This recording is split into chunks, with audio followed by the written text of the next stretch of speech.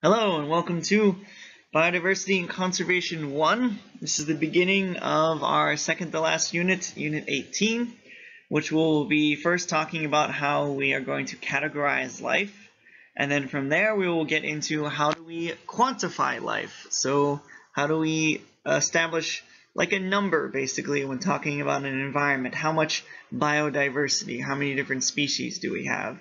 And then from there, what does that number mean in terms of the stability of that ecosystem? Now, uh, we're not going to, and then from there, we're also getting into conservation and later PBTs, which we'll be talking about how do humans affect um, these these biodiversity numbers and what, do, what are our responsibilities in order to protect these animals. Okay, so we're moving on today. The first PBT will be dealing about the classification. In classification, we'll be looking at the idea of taxonomy, which you guys might remember from year 10. I did uh, a unit early on in year 10 about this when we talked about taxon taxonomical hierarchy, or the idea of our domain, kingdoms, phylums, class, order, family, genus, and species, or how we group different uh, species all over the earth, and how do we organize and classify them so that we, we can understand them better when we're doing our research. Uh, then we're going to look at the domains, the three major domains of life, and the characteristics of those domains. We'll be looking at the characteristics of the major kingdoms. There are four or uh, five major kingdoms. Sorry, there's five major kingdoms in addition to the four that you see there. Um, so I'll, I'll talk about all five major kingdoms on this PPT.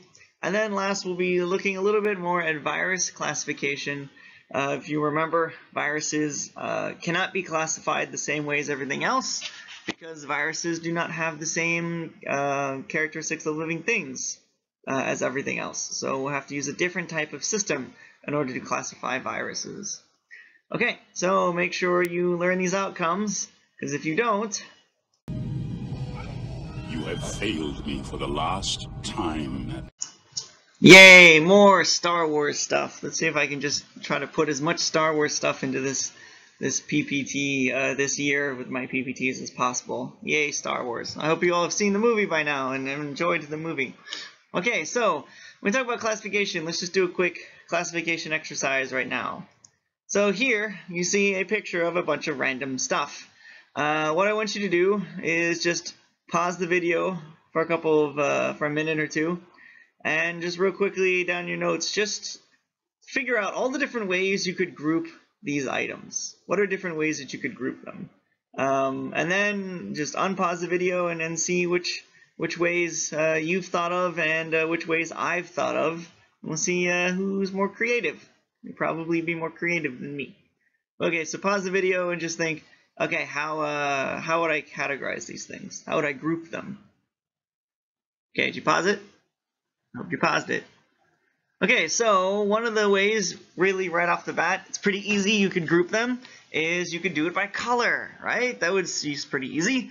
You could take the ones that are red, the ones that are blue, the ones that are yellow, and you could put them all into one single group of reds, blues, and yellows, right? So that's a really simple way to break down this, this jumbled mess of randomness. Another thing you could do is group it by things that are living things and non-living things.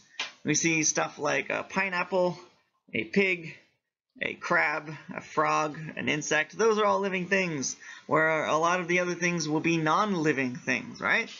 You could group it by whether or not it is a weapon. That's one that students always tend to pick up on really quickly. Here's a weapon, here's a weapon, here's a weapon, here's a weapon. Yeah, so you could group them by things that are weapons and things that are not weapons.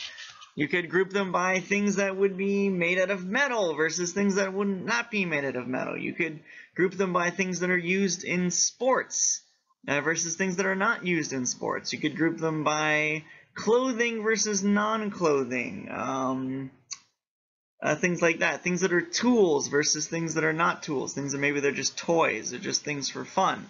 So there's lots of lots of different ways that you could group all of these together. And you could actually make groups within groups. So first off, we could start by saying uh, we'll separate them by color. So we have all the reds and all the blues and all the yellows, and we'll separate them. And then within the red group, we could say, okay, of the red things, which ones are weapons, which ones are toys, which ones are clothing.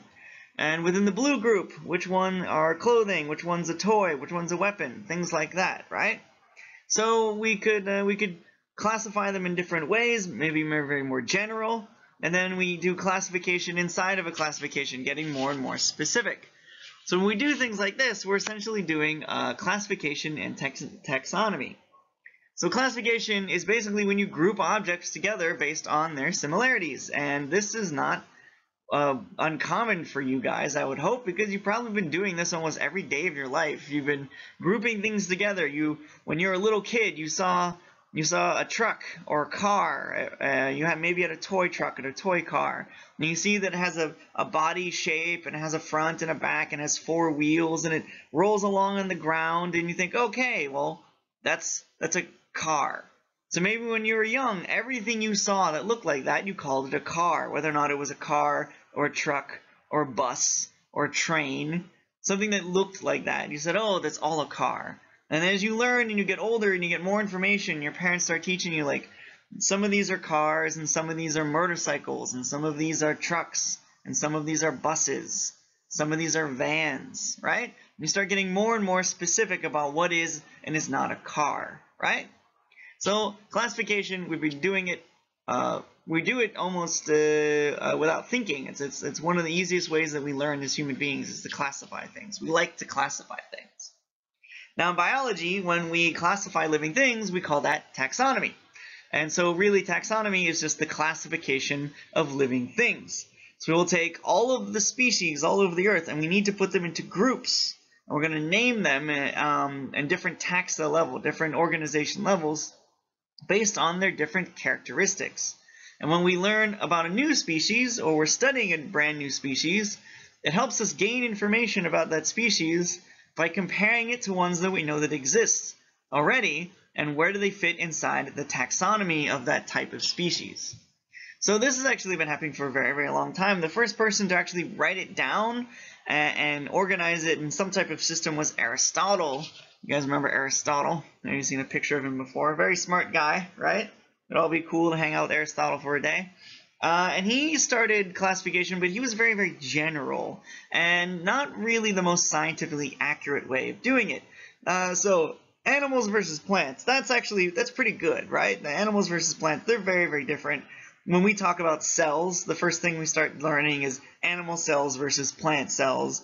We did anatomy last year. We talked about the animal circulatory system versus the plant's transportation system, things like that, right? So animals and plants, that's not that big of a deal. But then going into other things like flying versus walking, that's not super uh, specific because there's lots of things that walk and there's lots of things that fly. Like a butterfly and a bird are both flying creatures, but a butterfly and a bird are very, very different from each other. There are lots of other characteristics that are that make them very different. So maybe flying versus walking isn't the best way to categorize things. Or another way that they did it was the number of legs. Animals that had two legs versus animals that had four legs. Uh, and that again, uh, it's okay to classify things by the number of legs at a certain point. For example, for insects, uh, it's, it's easier for comparing different types of uh, arachnids uh, versus insects but by the number of legs, or crustaceans by the number of legs. But uh, in all of life, or general life, uh, four versus two legs, those are those are kind of broad categories, maybe not really that specific. So anyway, uh, so we have a, a, better system now, but in, until uh, the, the, the, the new system came along, this is really kind of what everybody was doing. They're following this model of it. It's either one type or it's another type. So then we didn't really get a great new system until the Linnaeus system came around. And so we had Carlos Linnaeus, this handsome man right here. Doesn't he look so dapper, so debonair? And he basically came up with a binomial system. And a binomial system means that it is built on two names, two specific names, uh, and we will call, and they're written in Latin, so we choose two specific Latin names. And these two Latin names will make up the name that we scientists will use for referring to a specific species. So the first name is always the genus name, and the second name is called the specific epithet, which we will call the species name. So every creature on Earth has a genus and a species name, And this is how it works into the Linnaeus system, and this is what biology is based on now. We use the Linnaeus system to organize everything. So for example, we can have a name like Panthera leo. What do you guys think Panthera leo means? I mean, you remember this from 10th grade. We talked about this example. So Panthera leo. Panthera, the genus name, is for large cats, very specific groups of large cats. And leo, being the specific epithet or species names, means lion. So Panthera leo is the specific or the species name for a lion. Now, there are different types of lions. There are African lions, there are Asian lions. Um, so we would have to be more specific. We would have maybe a subspecies, Panthera leo, and then another name, a third name that would talk about the specific subspecies of animal that we're talking about.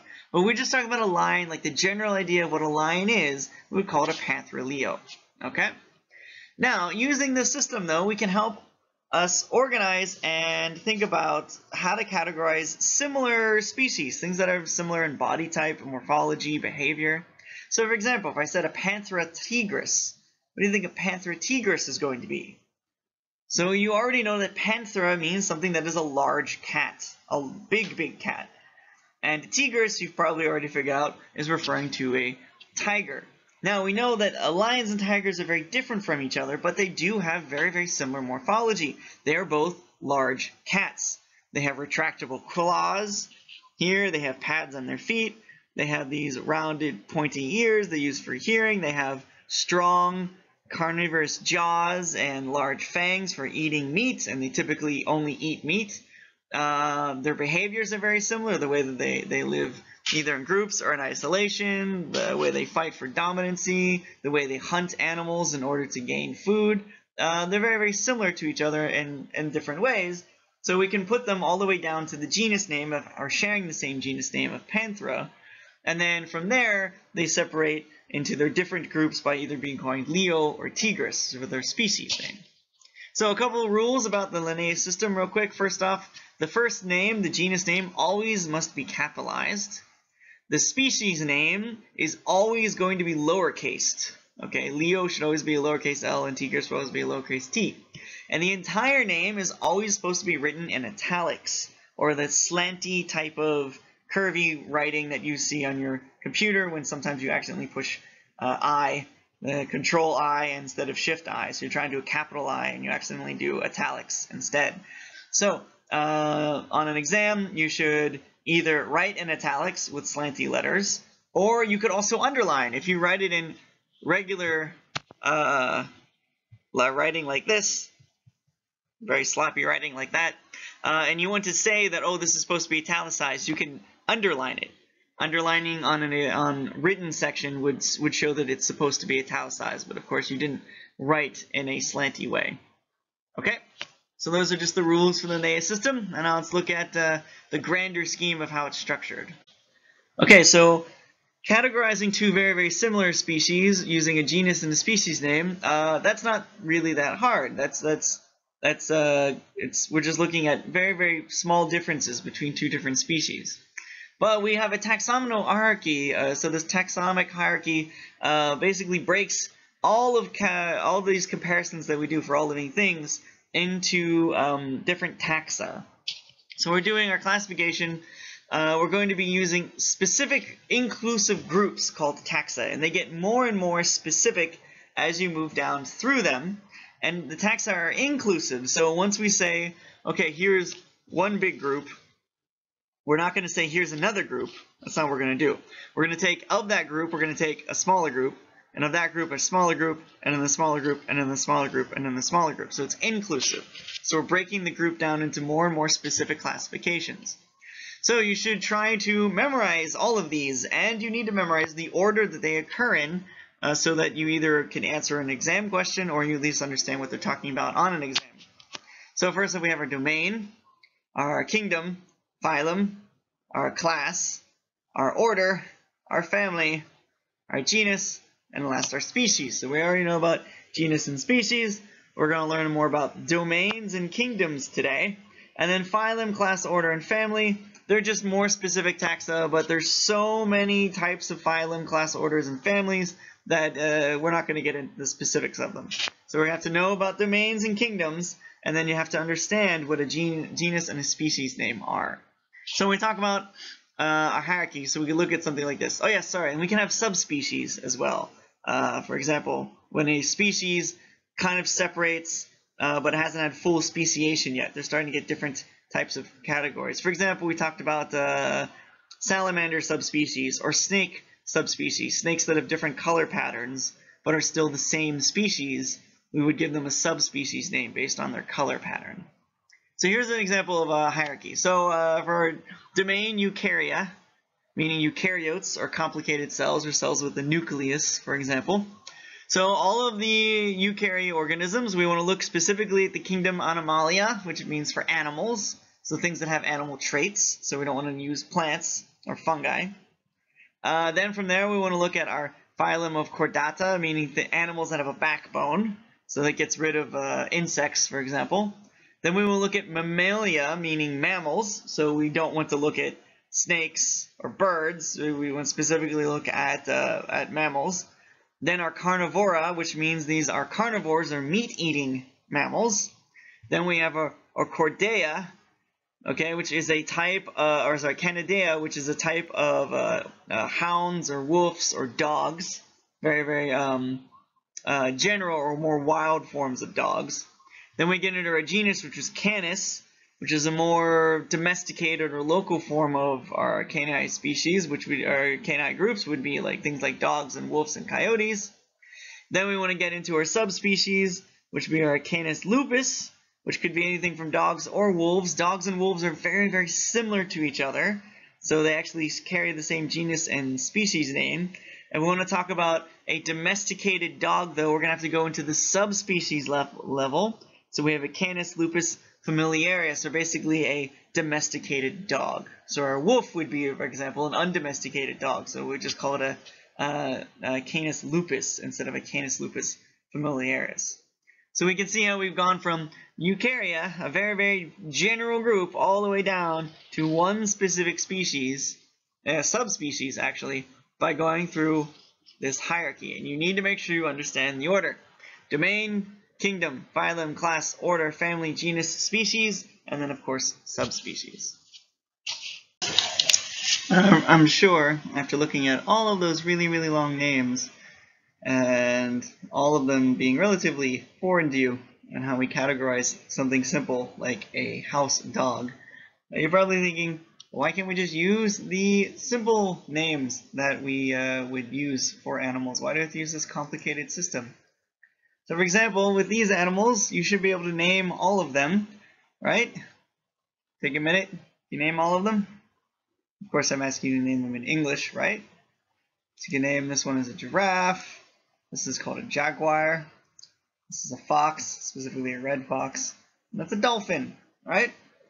Of course, the problem with this, though, is that you're naming these things in English, and not everyone speaks English. You would have different names for these animals uh, if you're using this in Chinese or in Spanish or in French. And uh, the idea of the giraffe or a jaguar or a dolphin or a fox, those actually aren't really specific enough under the idea of what a fox is, there's many different types of foxes. There are gray foxes, there are white foxes, there are arctic foxes, there are red foxes. There are different types of giraffes depending on where part of the world they come from. There are black jaguars, there are yellow jaguars like the one you see there. There are different types of dolphins. There are bottlenose, dol dolphins. There are finless dolphins that don't have a, a back dorsal fin. So uh, it's not really the best way in terms of specific, and it's not really the best way in terms of communication because people speak different languages. And in science, we want to be very, very specific and we want to be very clear. So we don't use common names. We stick to our naming system so that everyone is speaking the same language and that we are being very specific about what type of species or even subspecies we're referring to. So we just don't use common names.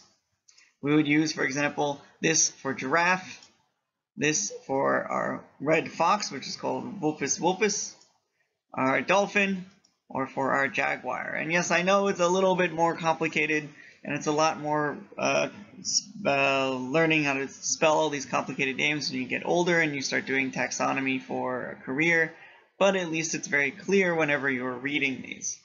Uh, and just as a note, of course, all the spelling and the names might be a little weird for us because it is done in Latin. Anybody know why we use Latin as our scientific writing language?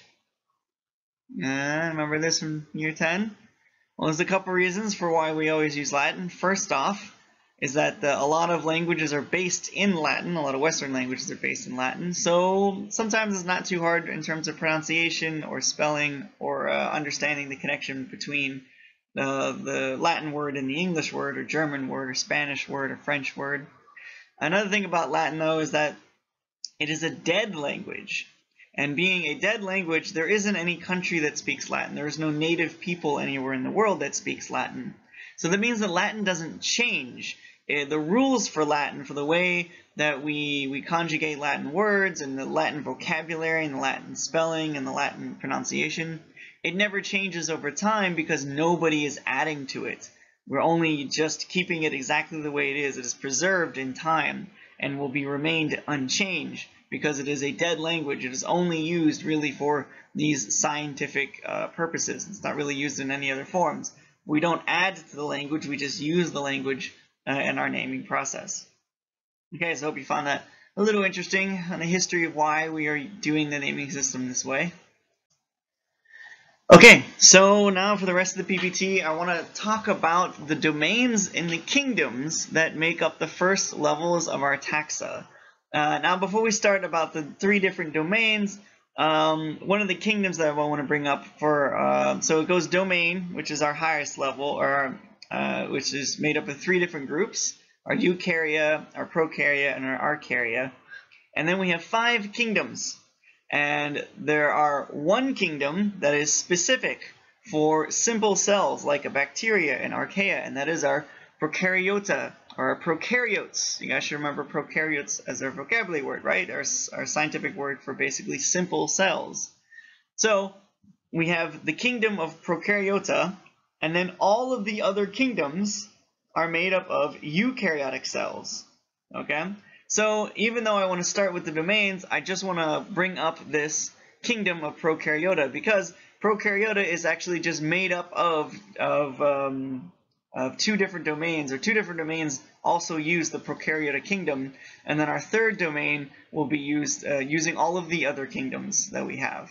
So this might be this isn't confusing, but so we have prokaryota, which is actually made up of our archaea domain and our bacteria domain. And the reason why we put archaea and bacteria into the prokaryota kingdom, or why they both fit with prokaryota kingdom, is because they are simple cells. They do not have membrane-bound uh, nucleus.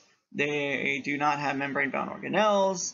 Um, they don't have um, linear DNA. They have circular DNA. And so because of this, uh, they're very, very similar to the idea, uh, they're very similar to each other structurally, so we will put them in the prokaryota kingdom.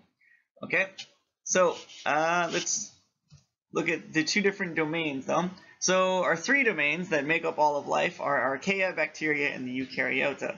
Now the eukarya obviously are going to be the eukaryotic cells, the, the larger, more complex cells. And so there are four kingdoms that eukarya will branch off into. And our archaea and our bacteria will both branch off into our prokarya, or prokaryota, sorry. So let's look at each one of these domains individually. Okay, so our first domain, archaea. Archaea, we've talked about this a couple of forms, but Archaea could possibly be the oldest forms of life on Earth. That's why we call them Archaea, or like uh, ancient, archaic. Uh, and they are uh, categorized as being extremophiles. That is their big interesting point, and that they can survive, or they have the ability to survive in really, really high uh, acidic conditions, like here in, in a, a, a thermal vent, very, very high temperatures, sorry, not here, a thermal vent and a geyser. Here's a geyser.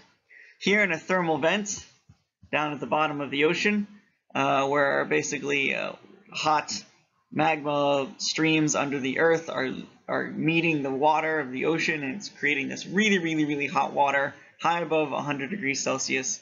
And very, very, because it's very deep in the ocean as well, uh, it's uh, it's under a lot of pressure.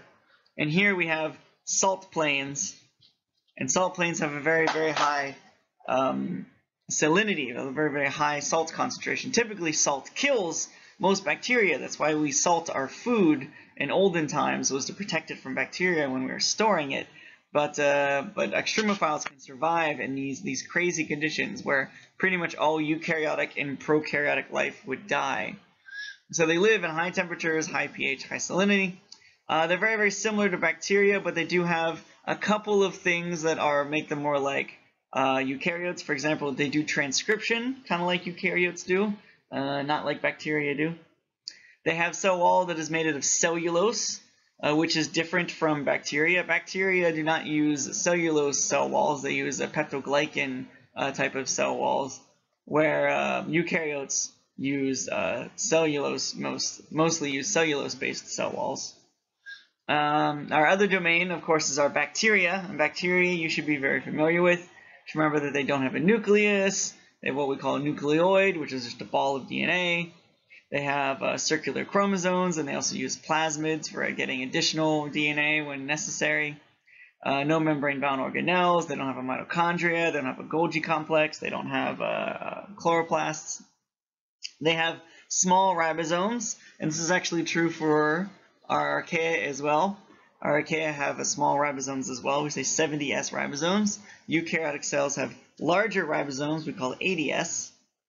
Uh, and just like archaea as well, they're pretty much going to be unicellular. Sometimes the cells will kind of group together and they'll form uh, colonies, but they are pretty much unicellular. They do not um, work together uh, in order to build a large, larger, more complicated organism. They, they really work out only for themselves. Uh, and then, of course, their cell walls, not having cellulose, they have peptoglycans. It's a different compound different from cellulose, but it, it works very similar to cellulose when making a cell wall. Okay, so these are the first two domains, our archaea and our bacteria, and remember they both will lead into the prokaryote kingdom. And then prokaryote kingdom is basically just bacteria and archaea. So everything I've just described to you, that's what prokaryote uh, kingdom would be like as well. Okay, from here I'm going to jump into the, the last domain, which is our eukarya, before I talk about each of the kingdoms that eukarya uh, go into. Okay, so the third domain, sorry, third domain uh, would be our eukarya. And our eukarya are all our complicated cells. And from here we have four kingdoms that eukarya go into. So we have our protoctista, which is our protists. It's easier to say than protoctista. Our fungi, our plants, our plantae, and our animalia, or our animals. Now you should remember eukaryotic cells because we've talked about them in great details last year when we talked about cell organelles and before. Uh, they are large complicated cells. That means they will have a nucleus and they will have membrane-bound organelles. So they have a mitochondria, they will have a Golgi apparatus. They are plant cells, they will have a cytoplasm, or not cytoplasm, uh, chloroplast. Um, they have linear DNA, really, really long linear DNA. They will not use plasmids. They have larger ribosomes, which we call 80S ribosomes. Uh, yeah, mitochondria. Uh, another thing as well is that they will divide by mitosis uh, instead of like eukarya and or bacteria and archaea.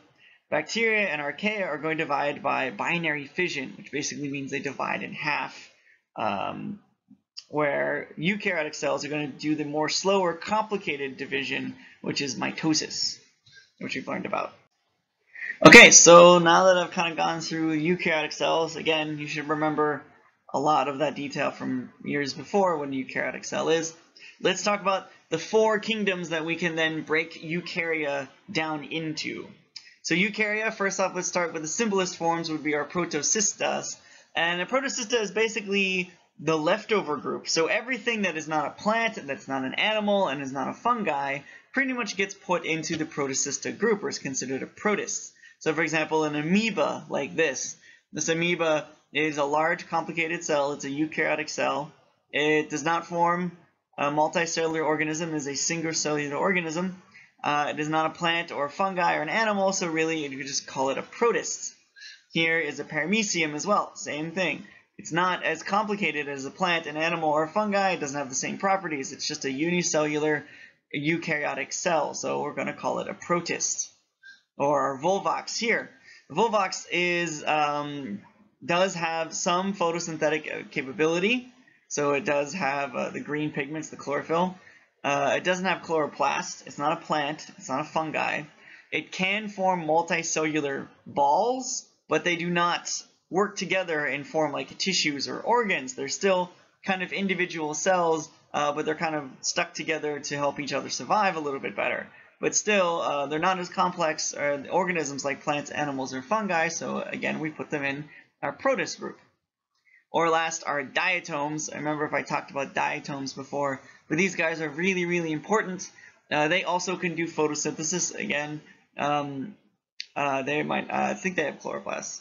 Uh, so they can do photosynthesis, and they actually make most of the air that we breathe comes from them. So yes, plants and trees are very important in order for stability of an ecosystem and for removing carbon dioxide and creating oxygen through for photosynth through photosynthesis. But actually diatoms, which basically will live in any water that is a healthy source of water. So anywhere where their life can survive in a water source, if there are diatoms, then an ecosystem can be built. If there are no diatoms, that means that that water or that ecosystem is definitely polluted or there's something wrong with it um, because even diatoms will not survive there.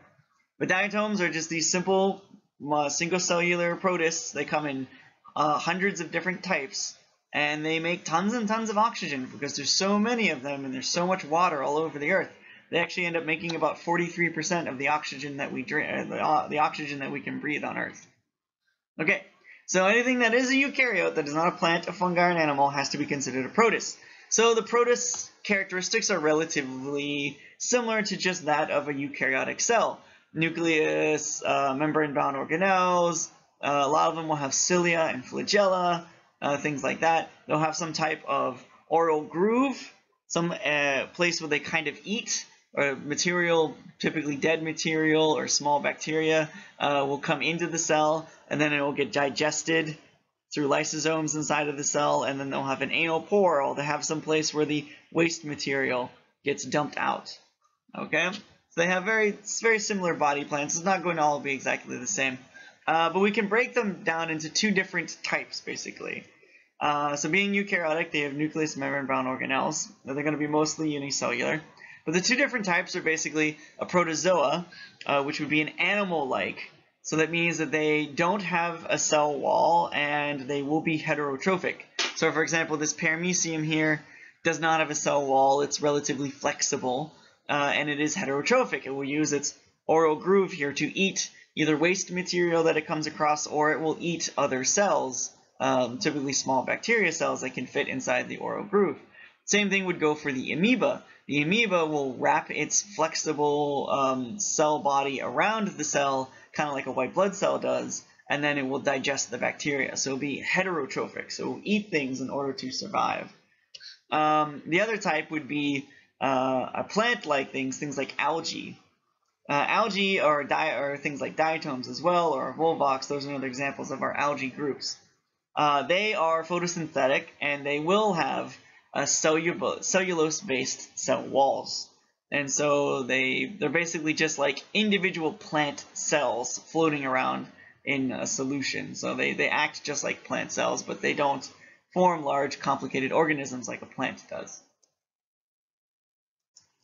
Now, next up, let's talk about our fungi. Like this. This is our fungi there. A magic mushroom. Gonna help make Mario big, right? But actually, you might not know that that's based on a real mushroom that you can find in Japan. You see it here. I actually think it's a poisonous mushroom. I have to look that up. Um, but yes, there is a mushroom that that video game icon fungi is based on in real life. So uh, fungi basically are plants. Uh, uh, sorry, not plants. They look like plants. Uh, they're not plants, but they do not act like plants. So often people get very confused uh, about the idea of whether or not uh, fungi actually do photosynthesis and they, they, do not. They do look like plants. They do have uh, cell walls and they do have root system, a very basic root system. and a very similar transport system that we would see kind of like what we have in plants, but they do not have chloroplasts and they do not do photosynthesis. Okay? Repeat that. They do not do photosynthesis. Sometimes students still get confused by this. They are heterotrophic. They're actually part of our decomposing groups. So they will typically break down already dead material. Uh, in the process of breaking it down, they're contributing to the recycling of material in our ecosystem. So here we are, or remember our food chain, for example. So here we have fungi growing out of a insect that they've overtaken and the insect died. And then as the insect's body is decomposing and breaking apart the fungi is releasing uh, enzymes and uh, chemicals onto the tissue in order to help break it down.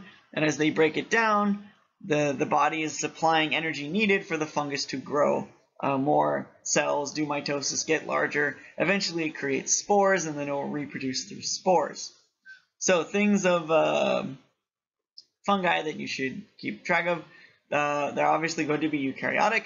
They're going to be unicellular or multicellular depending on the part of their life cycle.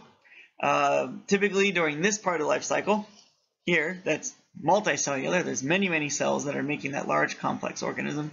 And then when they release the spores, the spores will have a short unicellular life uh, where they will grow and they'll um, get larger and then it's more stable and then they'll start to reproduce.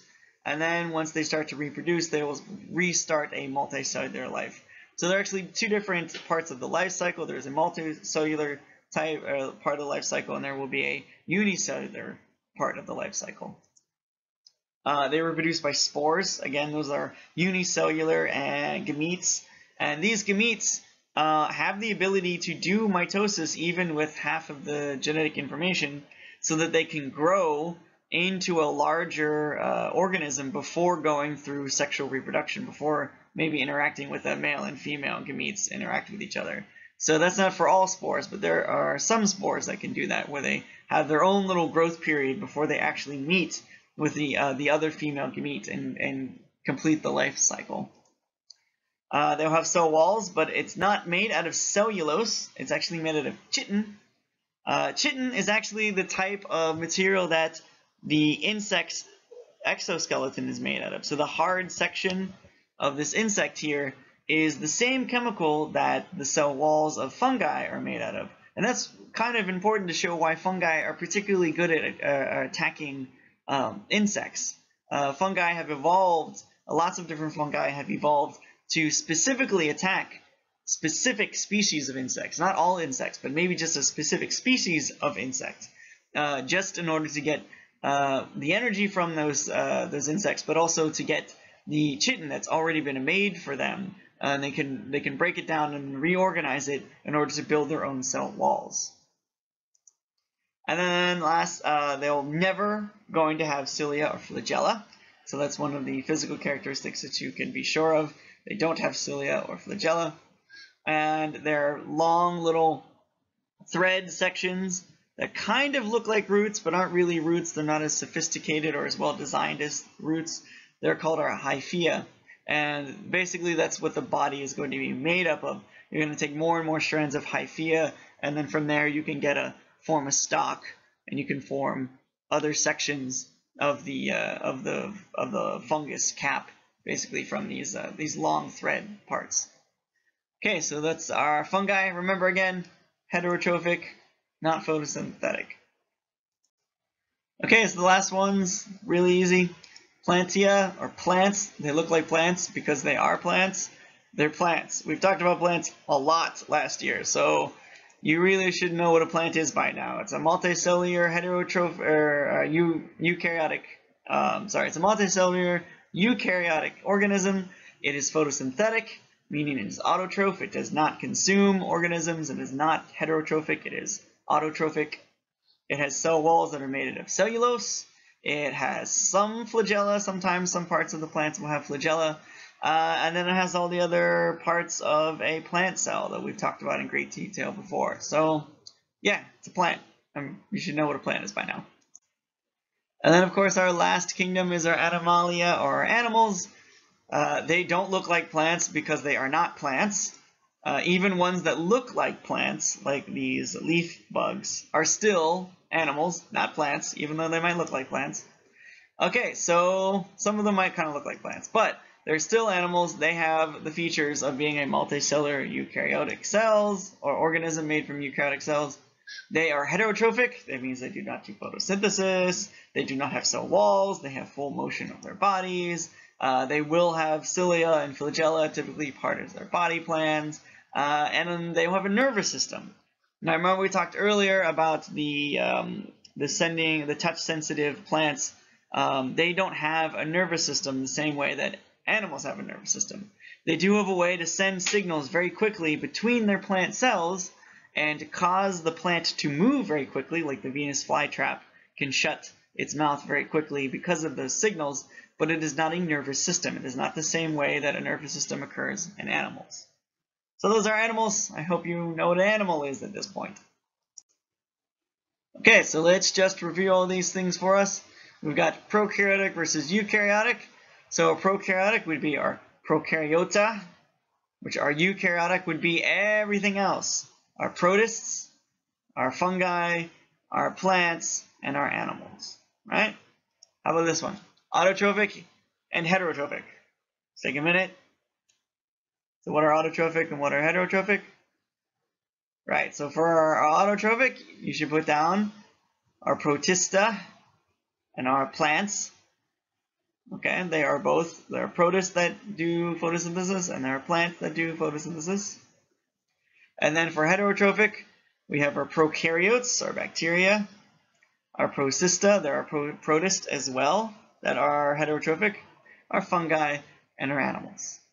Pretty easy, right? Okay, so the last thing we want to talk about is viruses and how do we categorize viruses? Because obviously there was no domain for viruses. And over the years there have been a lot of people saying that there should be a domain specifically for viruses. There should be something, some taxonomy done for viruses. Uh, and typically viruses, we do have a category system for them, uh, but it's not exactly the same as the, the binomial taxonomy that you've seen for all of their forms of life. And that basically comes down because the viruses, we're not really sure we're going to be considering them living things or not. They don't have the characteristics of a living thing like everything else uh, that we see on Earth. So we don't necessarily consider them to be living things, but we st can still organize them. We can still categorize them based on uh, physical characteristics or perhaps maybe how they reproduce or what types of diseases they cause. So the most common methods are going to be uh, looking at the shape and the structure of the virus, uh, its size, its method of replication. Is it lysogenic cycle or is it the lytic cycle? Uh, what type of hosts does it infect? Does it host infect mammals? Uh, if it's mammals, does it infect like maybe only dogs or chickens or only affect humans? Or does it affect plants? What species of plants does it infect? Uh, basically, is it when it affects a host, uh, what type of cycle does it have? Does it take a really long time to cause a disease? Does it take uh, only a few hours to cause the disease? And then what are the symptoms of those diseases? So what there can be different types of um, viruses that cause very, very similar diseases. So we'd have to look at the symptoms that they cause in order to categorize them. The most general category, though, and this is the one that you need to know for your curriculum, for the exams, would be that first off, we could break them down based on nucleic acid type. So there can be DNA-based viruses, or there can be RNA-based viruses. Remember that, uh, for example, HIV is an RNA-based virus. It uses a reverse transcriptase in order to make the DNA section that it's going to infect somebody with where uh, lots of the other viruses that we've talked about before, for example, like poliovirus, um, that would be a DNA-based virus.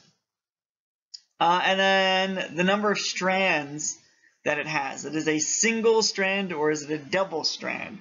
So is it like this, a single strand that's kind of wrapped in on itself, or is it a double strand, okay, like that?